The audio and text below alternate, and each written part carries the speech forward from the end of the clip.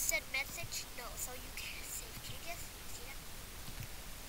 Now, no one can chat in here but only you. This is a pretty short video, but bye. Make sure to like and subscribe.